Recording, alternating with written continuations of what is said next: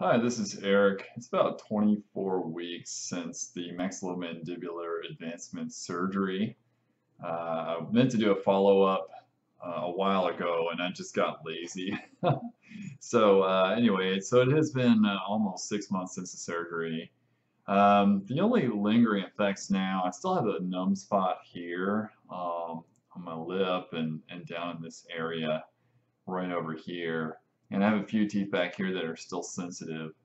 Uh, my dentist did say that uh, the sensitivity will probably improve over time and that uh, eventually that's going to be okay. It also feels like the teeth are loose back here. What he told me was uh, the bone is actually still a little bit soft and forming back here and that again over time that's actually going to get better and that that sensation is going to go away which is which is good it's kind of irritating uh, I'm eating pretty much whatever I want. Uh, I've had a few tough sirloin steaks that I, I couldn't quite chew that I had to pass on, but uh, I can eat, uh, like, if, if a steak is very tender, I can eat it just fine, and I've eaten chicken and uh, pretty much any vegetable or whatever, uh, even nuts, peanuts, or whatever I've been able to, to chew on.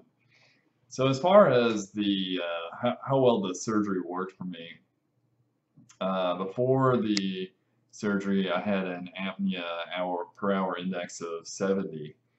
Uh, and uh, unfortunately, after the surgery, it, it, did not completely fix the problem. Uh, but it did go down to 35. So it's about it's about half what it used to be. Um, overall, I feel better. I do feel better. I have more energy. Um, I think I am sleeping better have more vivid dreams than I did before, and uh, I think I think it, it helped. Um, this, these steps now would be I could either try a CPAP machine again, uh, which I'm not really looking forward to. Uh, my dentist recommended uh, potentially trying a uh, appliance again. Um, the brand is called Myerson.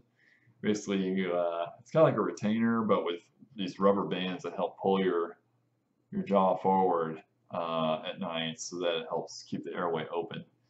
Uh, I might give that a try. I'm still kind of waiting. There's still a lot of sensitivity. I'm still kind of waiting for that to to get better, but uh, I might give that another shot, see how it goes. It, it didn't really help me before, but um, maybe this time it will work better after the surgery. You know, everything's different shape now. It might it might work better, so we'll have to give that a try. So uh, if, if I were to go back in time and make this decision again, I think I would still make the same choice. It has been a long recovery, uh, but the side effects are minimal, and I think most of this is going to get better. Uh, hopefully this numbness gets better, because that's, that's a real concern, but um, other than that, I mean, uh, it was worth a try. The cure rate is very high. It's like 90%. I just happen to be in that 10% where it, it didn't cure me. But it did make a big improvement. And I think that it will definitely be uh, good for me in the long run um, instead of not having surgery. The doctor also did recommend a, another surgery where they actually cut a square out of your uh, chin bone and then they they pull it out twist it. And what that does is a tendon that your tongue is attached to the inside of your chin. And uh, when they kind of pull that out and, and, and then twist it, that pulls the tongue forward. Um, I'm a little bit hesitant to go do another surgery, although that does sound very minor compared to what I've done so far, and maybe it wouldn't be much of a big deal. But I think I'm going to give it a rest maybe next year if this dental appliance doesn't work out for me. I can give it a try. So that's about it. I uh, hope you like the videos.